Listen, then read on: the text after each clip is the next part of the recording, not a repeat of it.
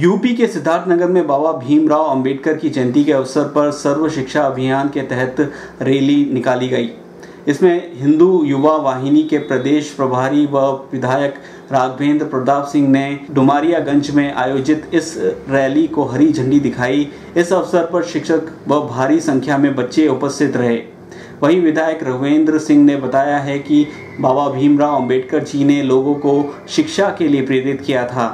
इसलिए आज के दिन उनके जन्मदिन पर ये रैली निकाली गई है।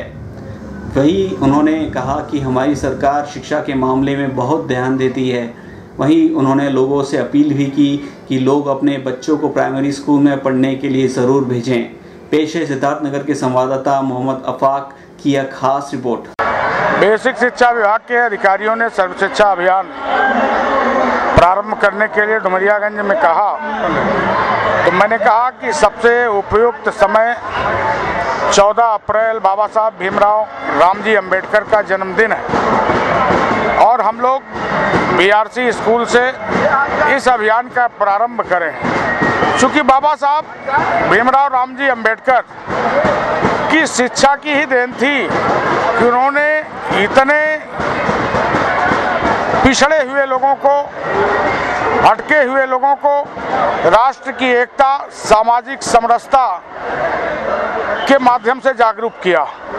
इसीलिए यह औचित्य भी बनता है कि शिक्षा की जब बात आवे तो बाबा साहब भीमराव अंबेडकर को नहीं भूला जा सकता। और हमारी सरकार योगी जी के नेतृत्व में, केंद्र में, मोदी जी के नेतृत्व में शिक्षा पर सबका बहुत ही ध्यान है। और आपने देखा कि पिछले एक साल पूर्व जब सरकार बनी तो सबसे पहले बेसिक स्कूलों में बच्चों का ड्रेस, जूता, मोजा, बस्ता और इस साल जूनियर स्कूलों में फर्नीचर तक देने की व्यवस्था की जा रही है। हर ब्लॉकों में पाँच पाँच पाँच विद्यालय इंग्लिश मीडियम के ट्रेंड शिक्षकों द्वारा इस साल पाठ्य पुस्तकें भी उपलब्ध कराई जा रही हैं और शिक्षा भी प्रारंभ कराया जा रहा है। इसलिए कि बेसिक स्कूलों में B Ed B T C T T T T qualified teacher हैं, जो अनुभव वाले हैं। जब उनकी शिक्षा बच्चों को मिलती है तो बच्चे योग्य होंगे। इसीलिए आज के सर्व शिक्षा अभियान के माध्यम से आम जनमानस से मेरा अपील है, आग्रह है कि सभी लोग प्राइमरी स्कूलों में अपने बच्चों को भेजें, जिससे बच्चे आने वाले दिनों का भविष्य हो सकें और देश के निर्माण में उनकी महत्वपूर्ण भूमिका हो सके।